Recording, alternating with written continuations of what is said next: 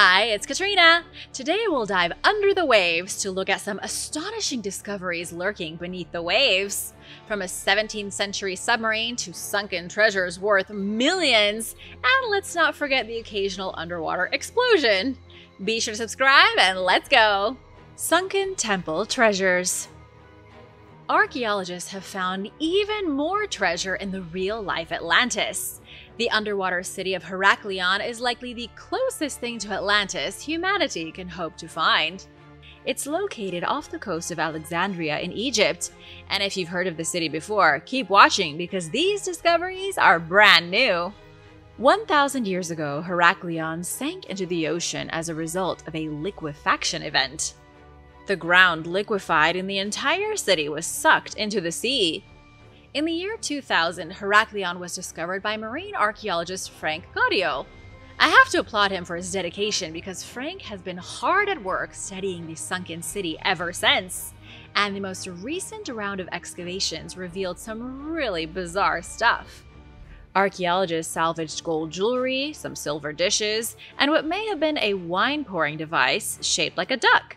They also found a creepy ceramic hand poking out from the bottom of a sea like a drowned mannequin pleading for help. These artifacts were all found during a summer excavation of Heraklion's South Canal in 2023. This is where a great temple dedicated to Amun was found, the Egyptian god of the sun and the air.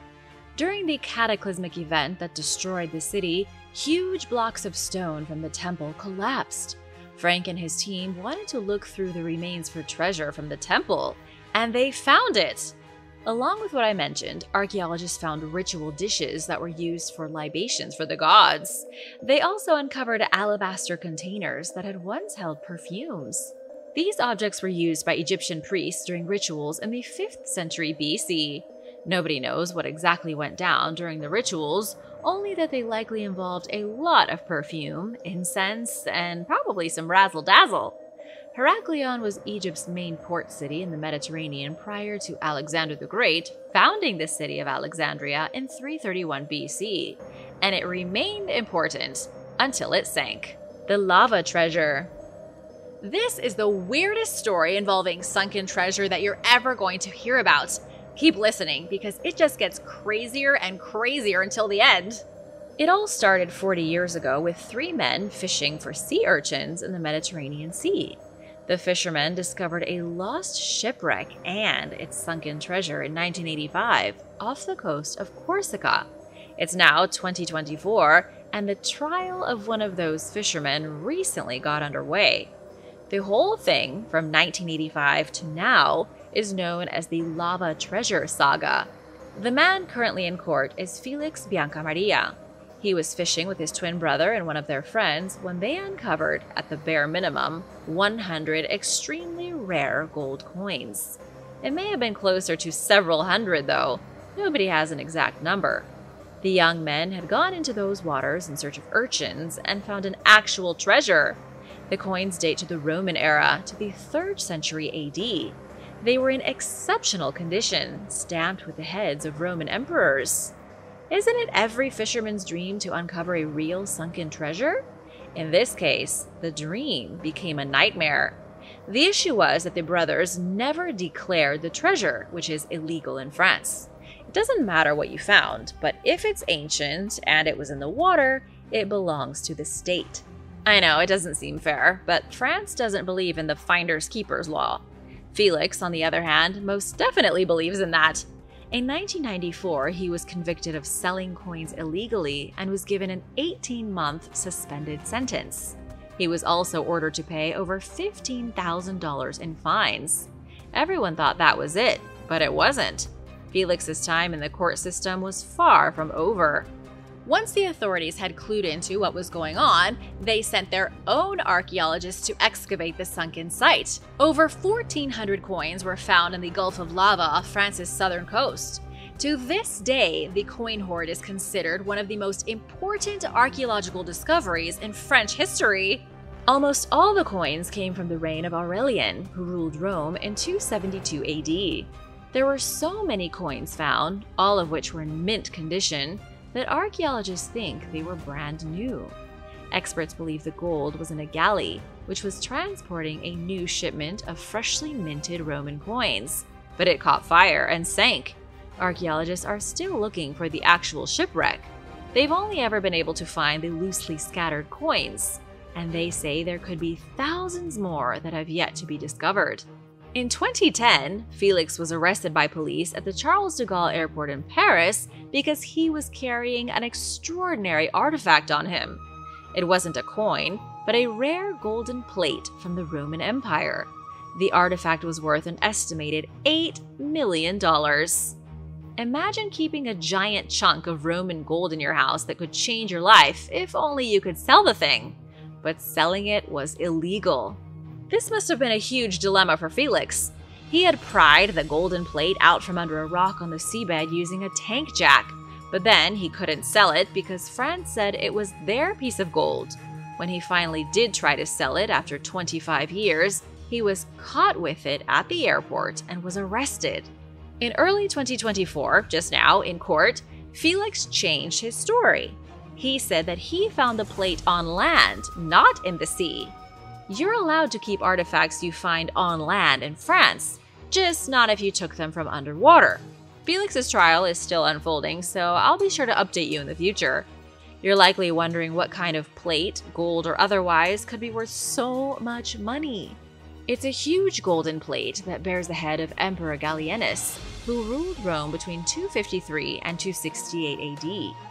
It was once encrusted with diamonds and jewels, and a mysterious medallion that's currently missing.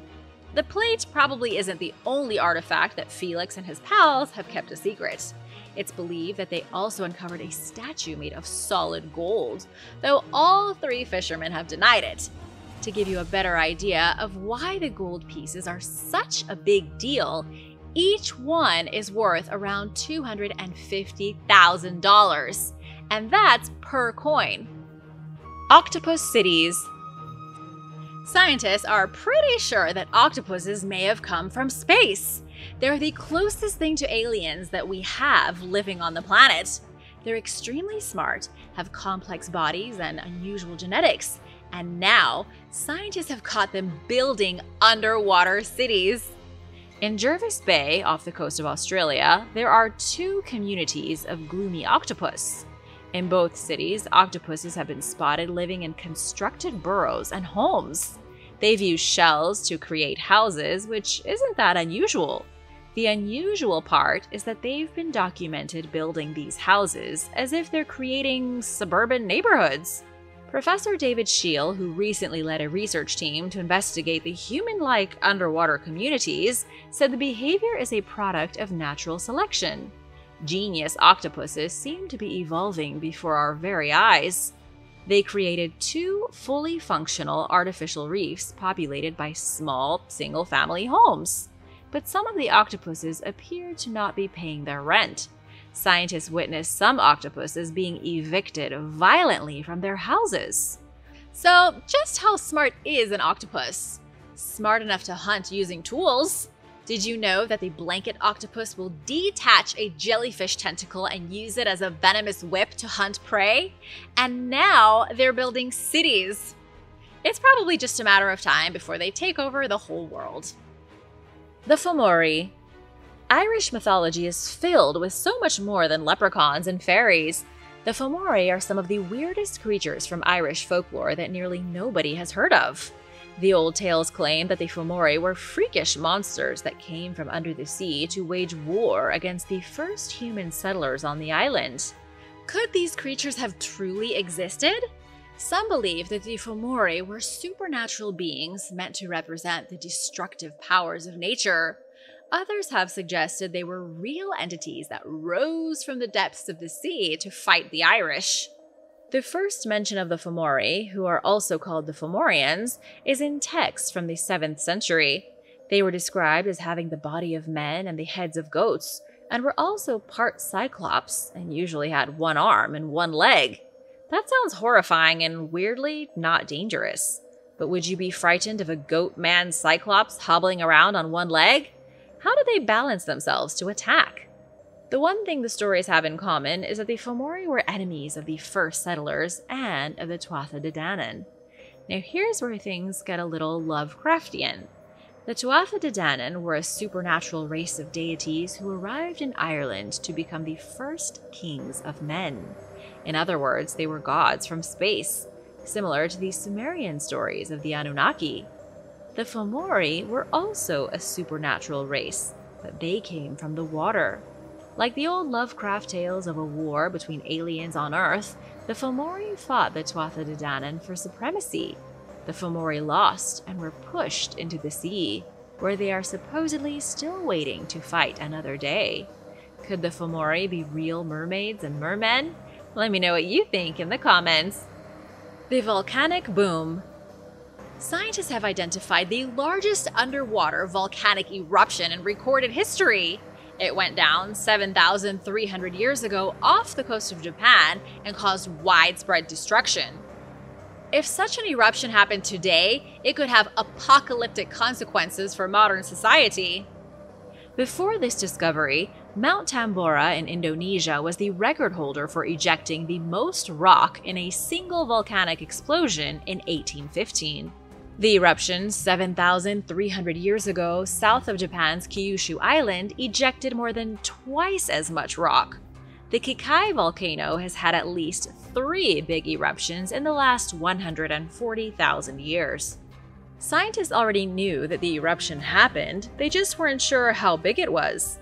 Now, though, scientists of volcanology at the University of Clermont-Auvergne revealed the full scale of it. They also think they learned what triggered it. To do this, it took an incredible amount of work. This wasn't a weekend project that you could turn in late on Monday afternoon. Researchers had to gather seismic data and create a huge map of the seabed surrounding the Kikai volcano. Then they drilled into the seabed using a remotely controlled submarine robot to collect sediment samples. With all the data put together, researchers had an astonishing conclusion on their hands. The eruption ejected roughly 110 cubic miles of material. 110 isn't a very big number, but keep in mind that these are cubic miles. To put that into perspective, the mega eruption spat out enough debris to fill Lake Tahoe to the brim twice. Scientists are calling it the largest eruption of the Holocene epoch, which is also sometimes known as the Ice Age. Before this new data came out, the Minoan eruption of Santorini in Greece was thought of as the biggest Holocene eruption. But just wait until you hear these figures. The undersea volcano was nothing compared to the truly ancient eruptions of prehistoric Earth. It was like a pimple bursting compared to the cataclysmic boom of the Toba supervolcano 74,000 years ago on the island of Sumatra.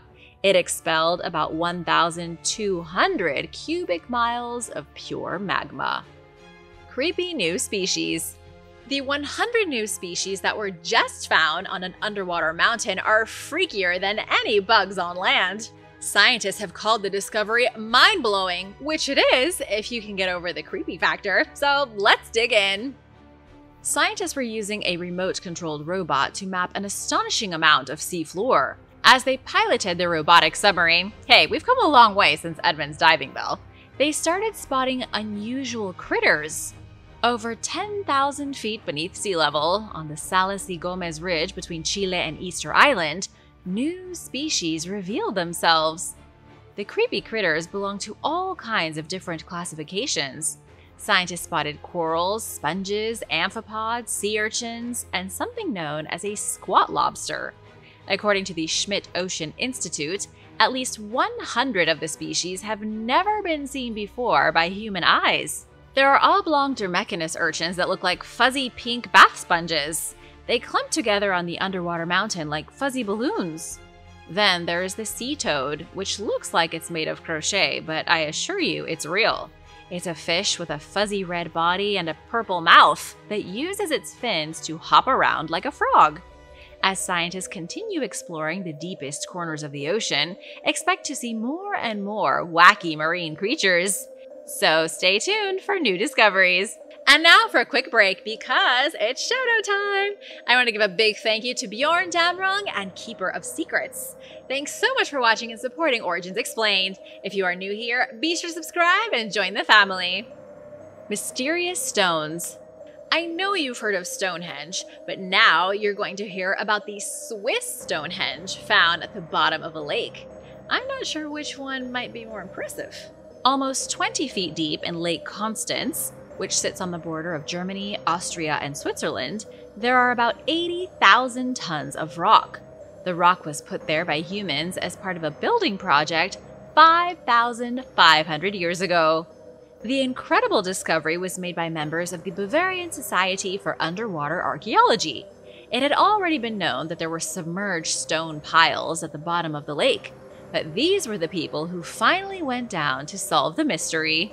Sure enough, they found 200 artificial piles of stones. Considering the piles are underwater and extremely old, you'll have to understand that they are in rough shape. It's called the Swiss Stonehenge, but don't expect tall monoliths everything has been destroyed and reduced to rubble. But even in its crumbly state, scientists know that the Swiss Stonehenge was once huge. The sheer amount of stone suggests that it could have been one of the biggest monuments in prehistoric Europe. But what was it for? And the question you're undoubtedly asking is why is it at the bottom of a lake? The leader of the scientific team, Tobias Pflederer, said that the monuments may have been platforms that were built by a cult obsessed with the dead. His theory is shared by other Swiss researchers. However, of course, the exact details are vague. So, what did the cult worship? And are their bodies buried underneath the stone piles? Unfortunately, neither of these questions has been answered. But as for the underwater thing, that's surprisingly easy to explain. The stone piles are so big because they once stuck out of the water. Prehistoric people threw stones in piles until the piles were so large that they rose from the lake. They created platforms that could be used in ritual activities. You can think of them as huge stone lily pads. The Whale Song Whales love to sing. Songs sung by whales as they cruise majestically through the deep ocean are fascinating, sort of spooky and weirdly ethereal. While scientists know how some whales sing, others have proven a little more baffling. Did you know that whale songs were only discovered about 50 years ago? Did you also know that dolphins and killer whales have a vocal organ in their nose that produces sound? Researchers managed to get their hands on the body of a humpback whale after it died in 2018. They took the whole thing back to the lab to study in precise detail. That laboratory was probably really stinky. Coen Elemans from the University of Southern Denmark said that never before had such a level of analysis been done on a humpback whale. Scientists were able to poke through the stinky remains to uncover the truth of the whale's song. And what they found is biologically amazing. Every baleen whale has a larynx shaped much differently from other mammals. I won't get into the nitty gritty though, you're not here to listen to a whale dissection. But what I will say is that a baleen whale has a larynx shaped in such a way that they can breathe humongous amounts of air when they go to the surface. They also have specialized air sacs so they can recycle air while creating sounds. Whales have voice boxes just like humans have voice boxes, only theirs are far more bizarre. Scientists identified fatty cushions that vibrate when air is pushed out of their lungs, creating low frequency sounds. These sounds allow whales to communicate over vast distances. The bottom line here is that scientists have finally figured out how whales talk to one another. Whales are the biggest animals in the world. They are incredibly intelligent, and now they have voice boxes. Scientists think they evolved the ability to speak to one another about 40 million years ago. Humans have to be in the same room, pretty much, to hear each other, but whales can use their voice boxes to talk to their friends across the emptiness of the ocean. Wouldn't you love to know what they talk about? The Ancient Submarine A mysterious object was found off the coast of Florida, and you're not going to believe what it is. Not because it's unbelievable, but because for centuries, everybody thought the disc shaped object was a cauldron. Only now have experts discovered the truth. This thing was a submarine from the 17th century. Let's start at the beginning. In 1980, a strange copper object was found off the coast of Florida. It was uncovered from the sand at the bottom of the sea near a wrecked Spanish treasure galleon. At first, researchers assumed that the large object was a cauldron for making things like fish stew. Sailors had a huge copper cauldron that would be filled with fish and whatever else was available. The chef would stir it all up and feed it to the hungry sailors. Since people didn't realize the importance of vitamins just yet, scurvy was a huge issue. Eating fish stew or dried meat every day isn't great for your overall health. You don't want to know what their teeth looked like. But this object likely wasn't a cauldron. Researchers now think it's a copper dome that was used as a primitive diving bell by treasure hunters 400 years ago. And if this is true, the object is one of the oldest diving apparatuses ever found. If you happen to be in the Florida neighborhood, you can check out the object for yourself at the Mel Fisher Museum where it's on display. I said earlier that it was found near a wrecked galleon. The galleon was the Santa Margarita, which sank in 1622 about 40 miles from Key West. You probably have a good idea of where this is all going. Diving equipment, a shipwreck, lost treasure, it all fits together nicely. Sean Kingsley, a maritime archaeologist, told Live Science that primitive submersibles could be used in shallow water. This strange copper object was likely part of one such vehicle. Though it wasn't really a vehicle, it was more of a giant bell. As the bell was submerged, a bubble of breathable air formed at its top, allowing divers to breathe. Imagine the Liberty Bell, only significantly bigger. Now imagine inside the bell is a bench. Divers would have climbed into the bell, sat on the bench, and been slowly lowered into the deep. The bubble of air allowed them to breathe. And when the bell hit the bottom, they could scrounge around for treasure. It was a shoddy system that didn't work very well, though it was practically sound. One of the best designs was from Edmund Halley in 1690, the same guy who discovered Halley's Comet. When Edmund wasn't looking to the stars, he was designing the world's earliest submarines. The Klein Hollandia. An anonymous shipwreck was found off the coast of Sussex that sent researchers on a quest to solve a 350 year old mystery. It's a story of love, piracy, tragedy, and a little bit of bravery, too. The story starts with David Ronnan, who for almost 20 years has operated his diving boat in Eastbourne, England. David initially operated the boat with his wife Sylvia. They would find and then explore wrecks off the coast of the UK. Together, they helped complete the database of sunken vessels off the coast of Sussex. In 2019, Sylvia tragically passed away. Not wanting to stay idle, David continued searching for new wrecks.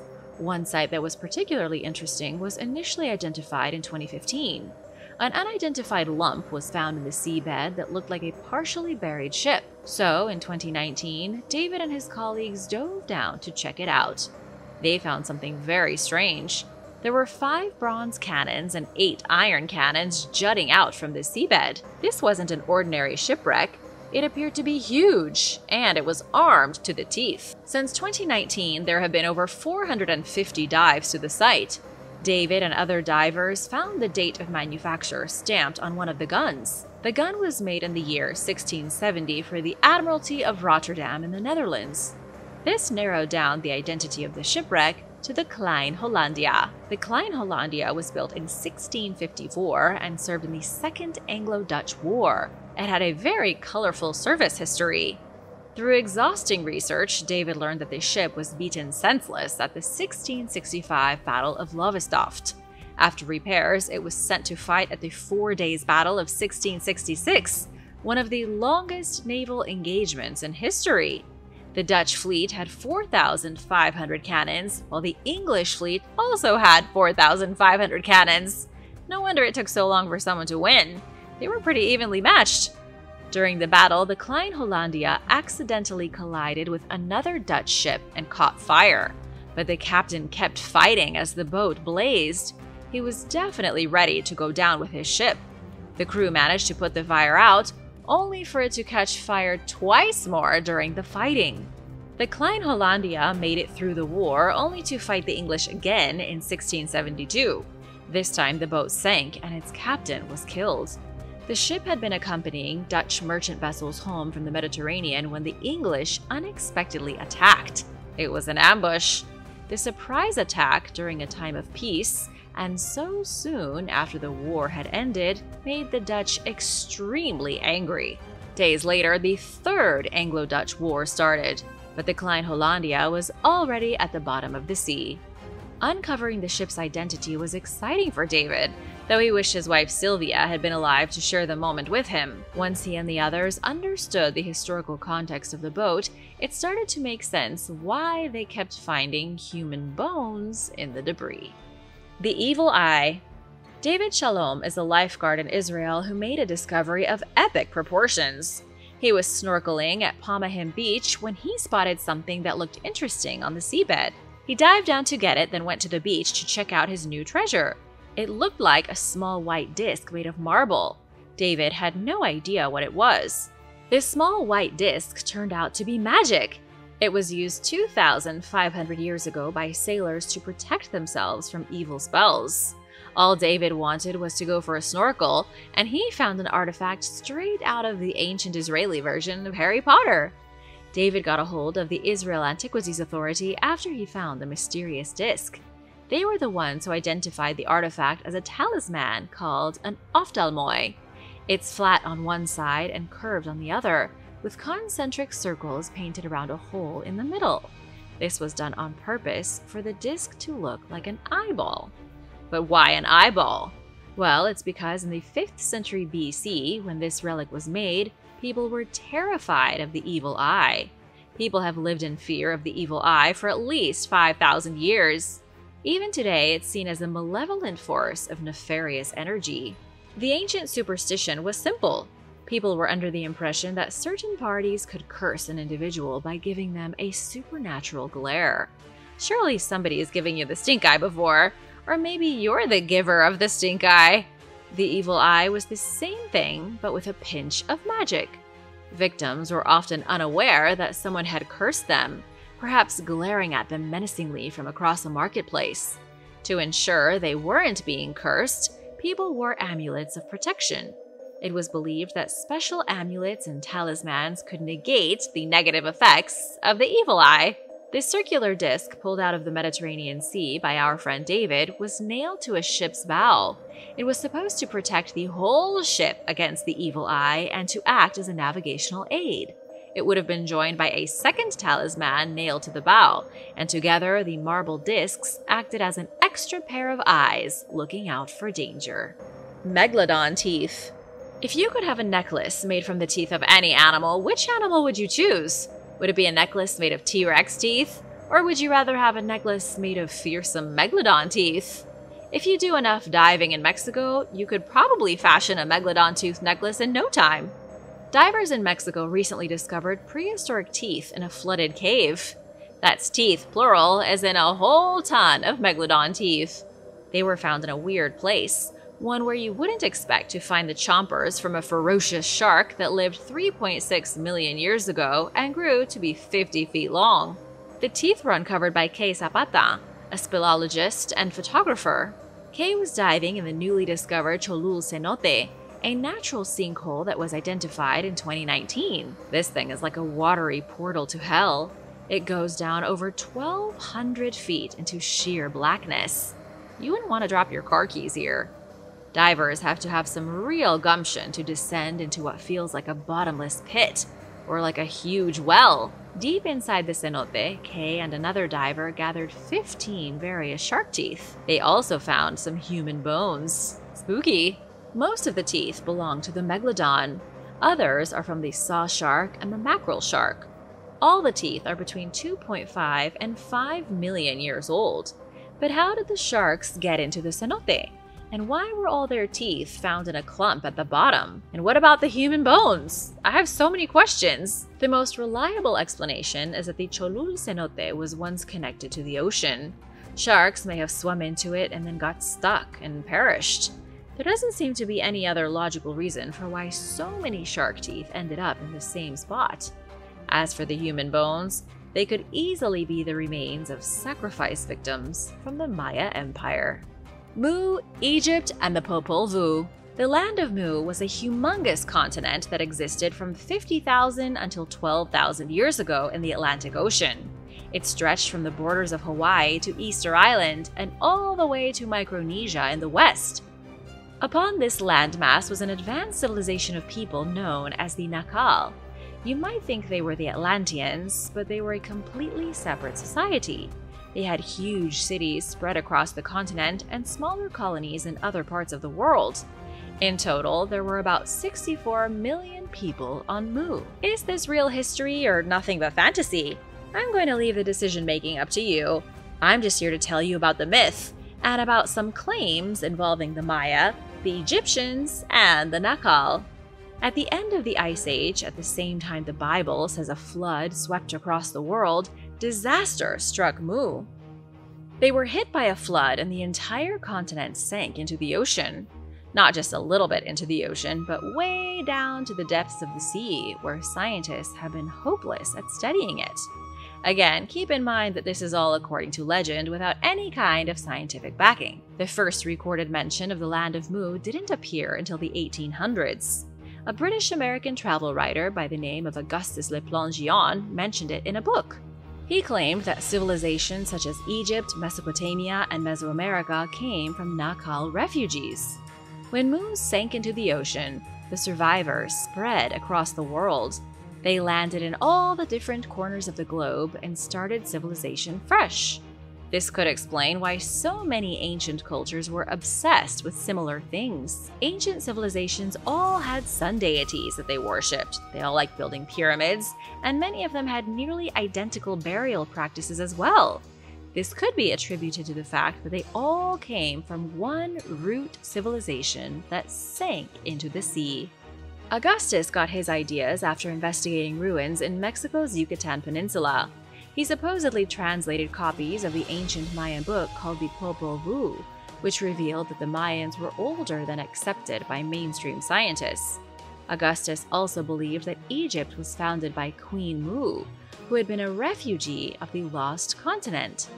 Does any of this sound convincing yet? I have a bit more you'll need to hear about before making your ultimate decision. After Augustus came a Scottish writer named James Churchward who published several books in the early 1900s. He claimed that while serving as a soldier in India, he became friends with a mysterious temple priest. The temple priest revealed to him clay tablets that were written in a baffling language. The language was a mix between ancient Mayan and an ancient Indian language called Naga. Only the temple priest was able to read the tablets. They supposedly mentioned a lost and forgotten land called Mu, but is all this just a coincidence? The mysterious tablets also claimed that Mu was destroyed in a single night, following a series of devastating explosions. James argued that Mu had been made of granite. Over thousands of years, honeycomb like caves had formed under the surface. The caves slowly filled with explosive gases until they blew apart, shattering Mu and causing it to sink. Nobody knows where these tablets are anymore. For all anyone knows, they may have never existed at all, and the whole story could be a fabrication. There also hasn't been any evidence of the lost continent of Mu discovered at the bottom of the Pacific Ocean. What do you think? Is Mu real? Could all the people of the world have come from a single root civilization? Let me know your thoughts in the comments. Thanks for watching, and be sure to hit that subscribe button and stick around for more awesome content.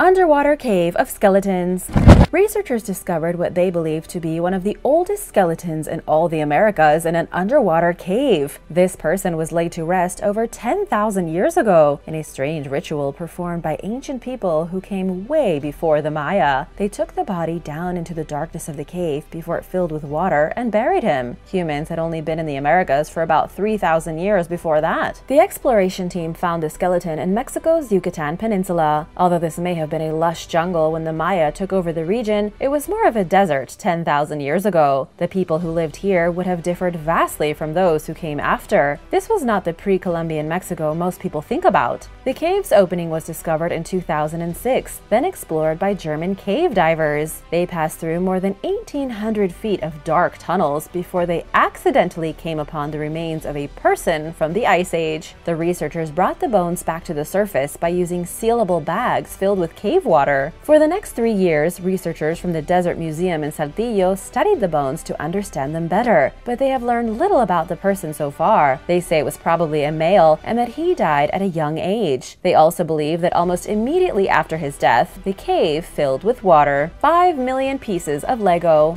There are pieces of Lego that show up on beaches all over the world. It would be pretty difficult to go searching for them since you never know where they're going to end up. But what I can tell you is that there are at least 5 million pieces of Lego currently lost at sea, and that one woman has spent 25 years looking for them. Are you a big Lego fan? Let me know in the comments. It all started in February 1997 when a cargo ship lost its freight. The ship had set sail from Rotterdam and was about 20 miles from the coast of Cornwall when a monster wave hit. The wave tilted the ship 60 degrees in one direction and then 40 degrees in the other. This sent the ship's 62 shipping containers splashing into the ocean. One of those containers had 5 million pieces of Legos in it. To make it even weirder, most of the Lego was sea-themed. They found approximately 4,756,940 pieces related to seafaring adventures. Once the container hit the ground, it burst and released all the Lego. I'm talking about small yellow life jackets, green plastic seagrass, tiny spear guns, and scuba tanks. The works all lost at sea. Beachcomber Tracey Williams has spent 25 years tracking the lost Lego pieces. She used to spend nights with her children combing the beaches near her home looking for lost plastic sea dragons. They found pieces as far away as Texas and Australia. The Underwater Soldier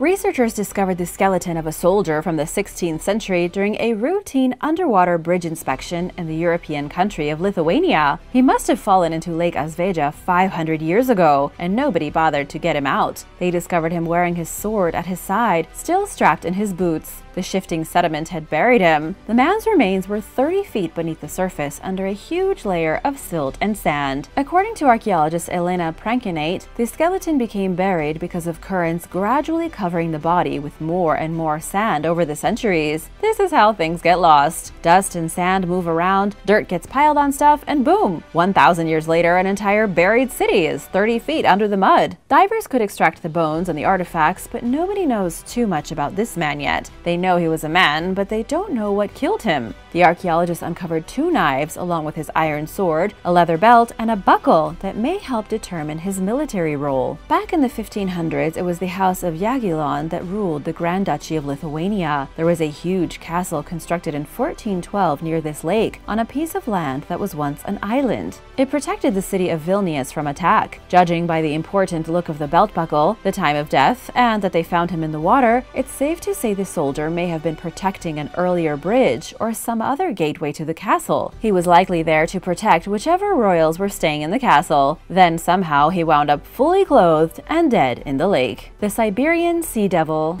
there have been reports of a devil-like sea monster living in Siberia's Lake Labynkyr ever since the 19th century. The legends have intrigued scientists who have heard plenty of stories but have never actually seen the monster. This lake is one of the most inaccessible in the world, right in the middle of the coldest region in Russia. That's made it pretty hard to explore. But recently, a team completed a deep dive here under its icy surface, reaching a depth of over 150 feet in freezing cold temperatures. Their goal was to see what mysteries they could find at the bottom of the lake. Sadly, the divers never discovered a monster. What they saw swimming under the frozen surface of the lake was a dogfish. Throughout the entire operation, divers from Russia's most prestigious organizations found nothing except dogfish. They were pretty big, about six feet, and frightening looking, but not devils and not monsters. Remains of a sea monster.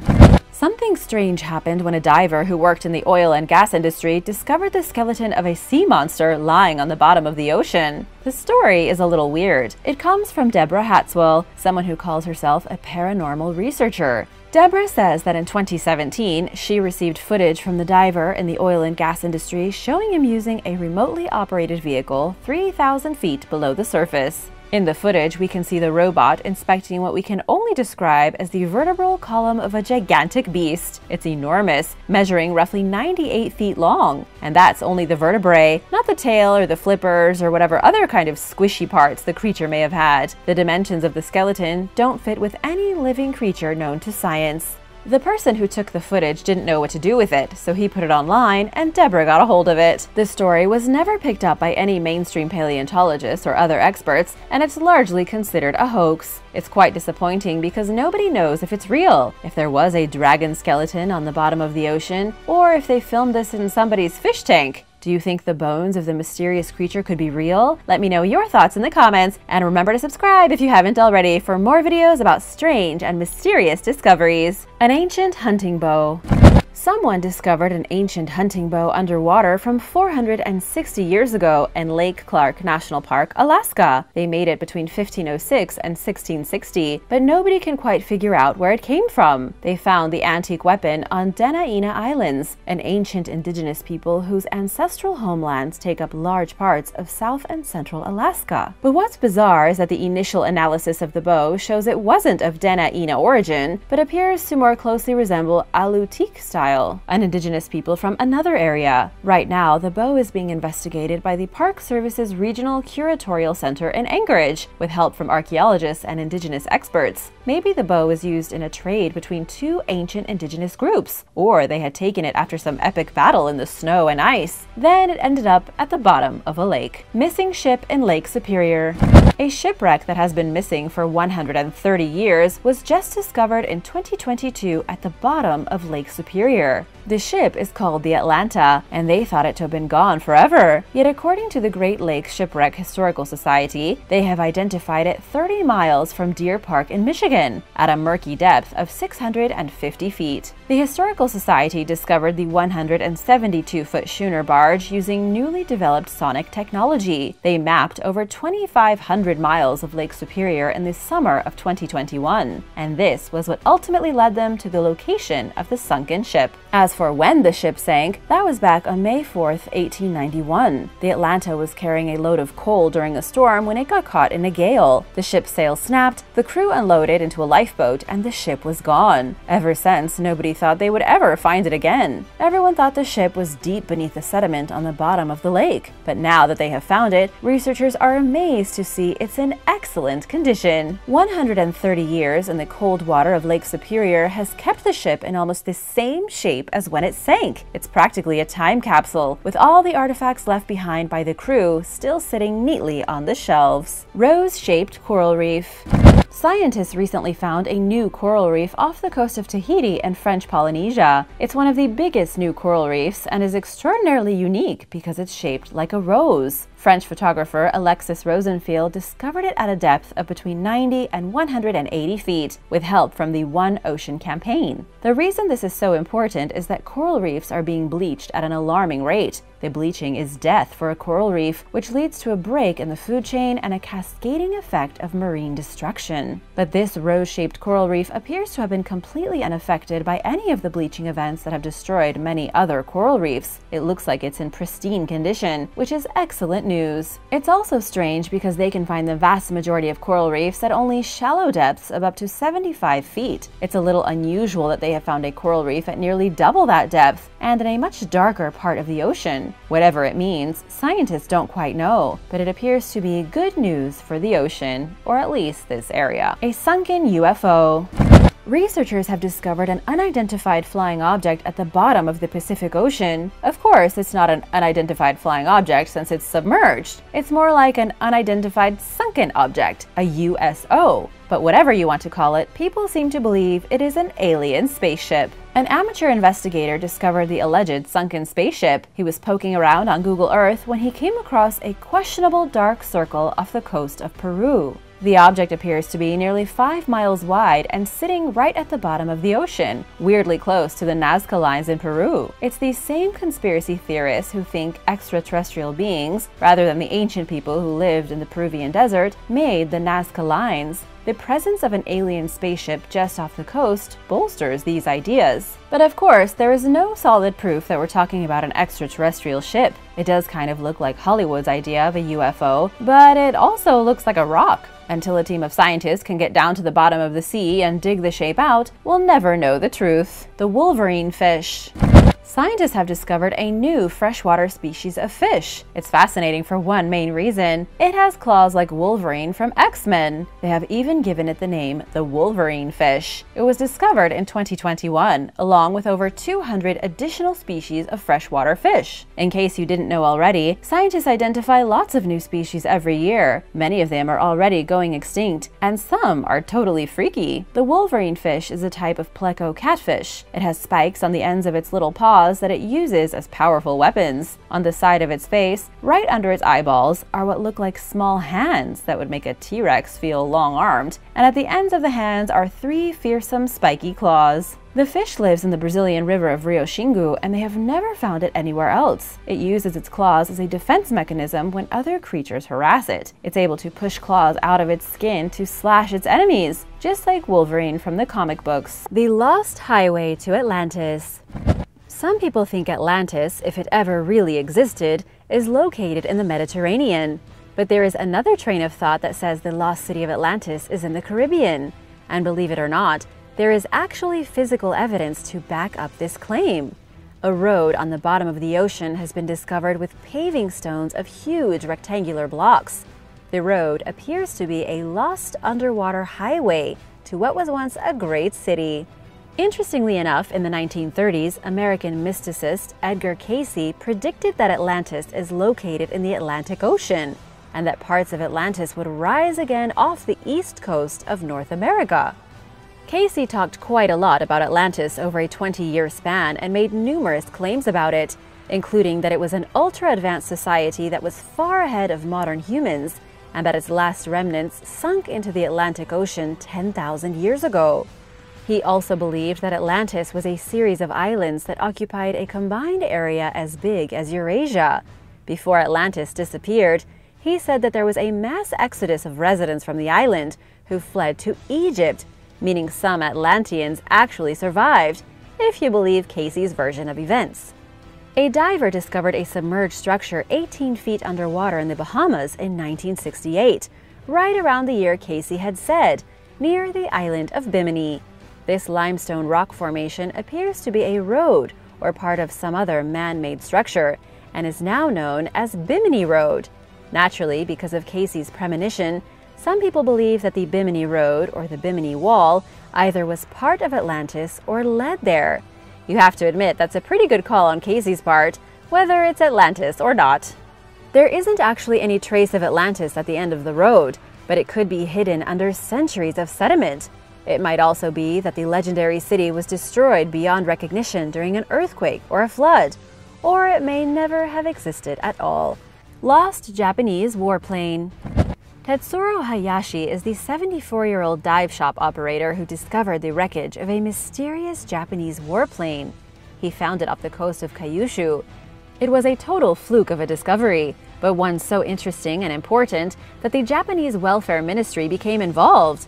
These are the people in charge of collecting the remains of dead Japanese soldiers. Because the warplane was used by the Imperial Japanese Navy in World War II, it's believed to hold at least some physical remains of the pilots who went down with their plane. The central government approved a search for human remains back in June. The wreckage is sitting at a depth of about 60 feet, only 900 feet from the northern tip of the island.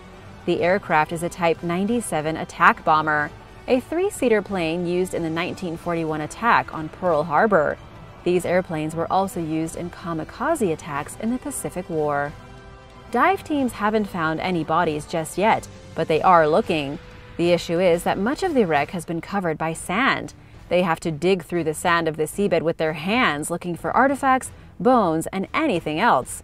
It's possible after all of this time that there will be little left to discover, but the sea is always revealing new mysteries.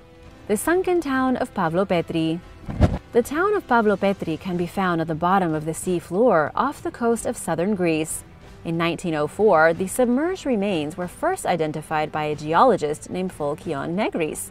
It wasn't until 1967 that Nicholas Flemming from the University of Cambridge took a team of archaeologists to the location and discovered the real scale of the site. Just 60 feet from the coastline, there lies the remains of the Mycenaean town, measuring 7 acres in size.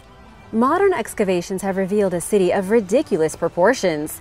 It was occupied as early as 3500 BC, with some of its stone walls still standing. Archaeologists have found the foundations of streets, the remains of courtyards, houses, as well as graves from the Bronze Age covered in sea muck. The discovery of a shocking number of looms and loom weights suggests the town boomed thanks to a textile industry. And because of its position on the coast, it was also probably a major trading post. Sadly, for the residents of the city, it was that advantageous position on the coast that led to it being sucked into the sea. Geologists theorize the town submerged as a result of regional faulting. Tectonic activity led to convergence and subduction, and so the town fell beneath sea level. It was submerged by several feet of water before the time of the Romans, and as a result was completely abandoned.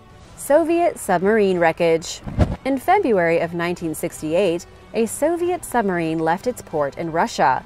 Its mission was to vanish beneath the water off the west coast of the United States, armed with three nuclear missiles. Each of these missiles was 65 times more dangerous and explosive than the one dropped on Hiroshima. Two weeks into its mission, something went wrong. The crew missed a scheduled transmission and all contact was lost. The submarine wasn't found again until August of that same year, three miles beneath the surface of the ocean. We still don't know exactly what happened to it. What we do know is that the Americans realized the Soviets were looking for something after the sub went missing in 68. The US used their own acoustic technology to find out where it could be. They marked it, but didn't immediately bother going down to try and recover it. Considering how deep the submarine sank, it seemed like a lot of work.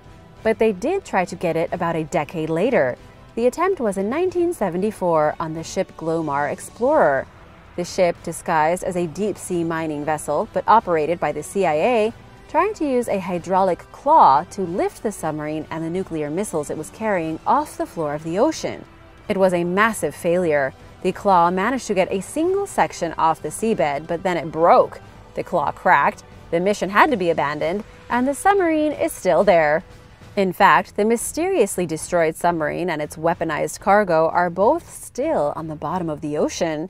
Kind of makes you wonder just how many other Soviet or other submarines with nuclear capabilities are lost deep down in the ocean. Underwater Mayan Salt Kitchen. The ancient Maya of Mexico and Guatemala are famous for a lot of things, from amazing architecture to a captivating culture but they are also famous for maintaining a consistent supply of salt up until their disappearance a thousand years ago. Researchers have been struggling to figure out how people living deep in the jungle were able to get so much salt. And as it turns out, it's because the coastal Mayans had salt kitchens. They traded the salt that they mined from the salt flats on the Yucatan coast to those in the jungle. This realization was thanks to a research team who discovered some of these salt kitchens hidden underwater off the coast of Belize. In the oxygen free sediment, they found the remains of Maya dwellings and the factories where they boiled brine in pots to create salt. This salt was shipped all over the kingdom and used in everyday cooking. The practice dates back roughly 2,500 years. Studying these submerged kitchens was not easy. Researchers had to take whatever small samples they could find from the bottom of the ocean and ship them back to their laboratory. The samples consisted primarily of wooden pieces from buildings and pottery shards.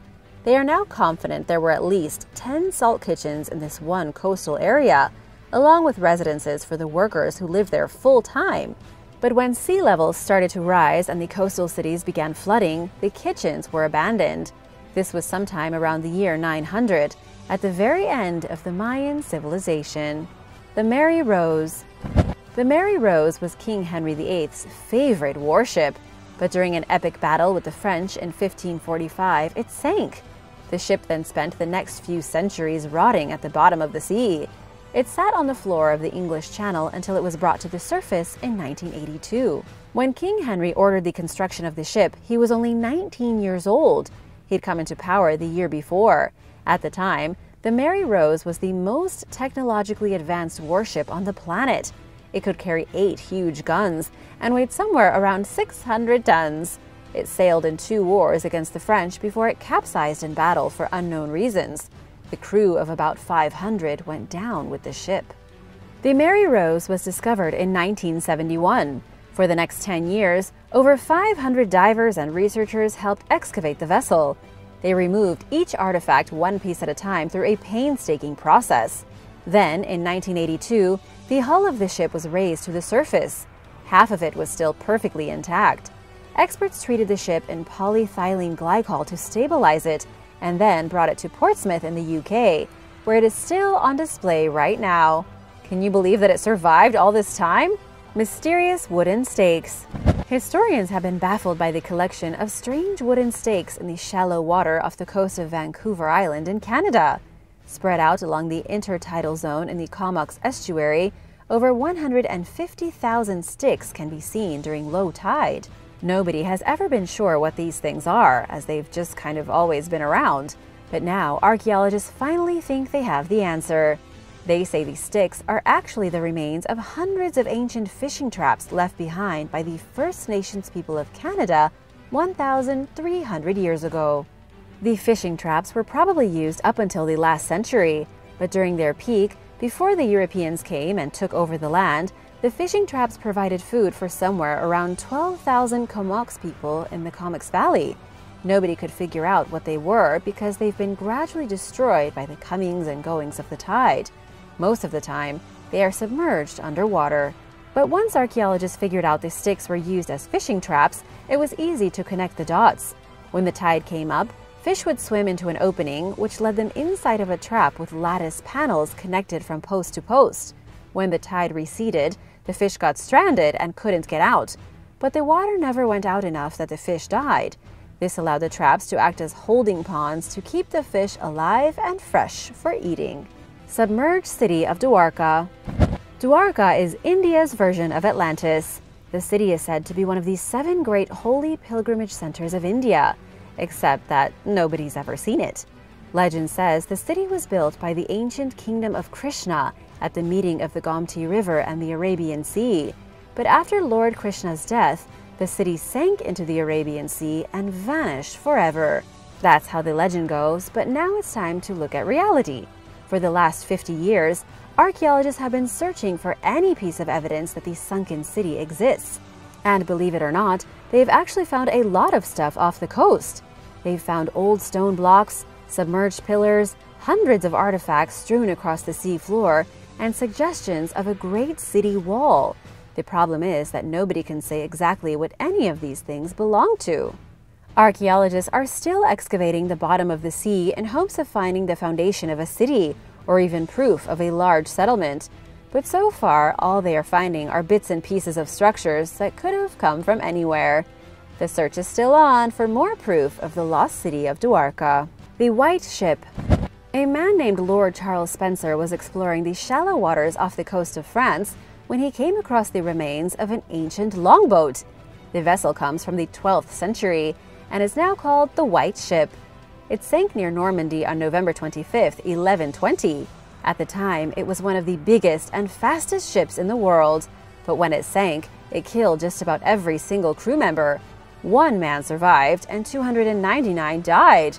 Among the dead was William Adelin, the grandson of William the Conqueror. The sinking of the White Ship was such a huge disaster that it left King Henry I without a male heir to take his throne. This threw the English monarchy into chaos as they scrambled to figure out what would happen to the royal line. This was one of the most dramatic sinkings in English history. It completely disrupted the monarchy, ruined King Henry I's dream of his son taking the throne, and was just generally terrible. But what's really interesting is that the man who found it, Charles Spencer, is Princess Diana's brother. He was part of the diving expedition that went down specifically to recover the White Ship. It's in shockingly good shape for a wreckage that's nearly 1,000 years old. Submerged Stonehenge. At the bottom of Lake Michigan, of all places, researchers discovered a series of stone circles. These stone circles have been compared to Stonehenge in England, except they are located right in the middle of the Great Lakes region. Who made the stone circles and why has become something of a mystery. The earliest humans who inhabited the Great Lakes, as far as historians know, were the Hopewell. They were a culture of Native Americans who vanished around the year 800, just a century or two before the Maya were gone. After them, the late woodland Native Americans made this area their home. but researchers still don't know which culture built the stone circle, or if it was a different group entirely. In fact, figuring out who built the Lake Michigan stone circle has proved even more difficult than figuring out who built Stonehenge. In the US, we are dealing with a submerged stone circle at the bottom of a lake, a lake where countless prehistoric tribes came and went over the millennia. The one thing that helps is knowing the geological history of the region. Scientists are fairly sure that 10,500 years ago, the water level of the lake was low enough that somebody could have built something on the bottom. 3,500 years later, the lake filled back up. This means at some point during the lake being an empty crater, somebody went in and put up a bunch of stones. They probably abandoned the area when the water levels rose and forced them out. Thanks for watching! What's your favorite underwater city or submerged ruin? Let me know in the comments below, and be sure to hit that subscribe button and come back soon. See you later! Bye!